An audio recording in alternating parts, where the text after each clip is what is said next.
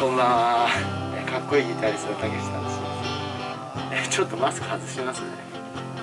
はい。えっとね今回ご紹介するのはもやのイカの塩辛。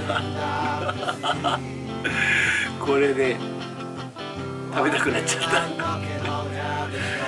これねお店のねローソンの店長さんがね「このイカの塩辛でいいの?」って言われたんですけど桃屋のイカの塩辛って一番スタンダードでしょ。スーパースタンダードでしょこれ。これ。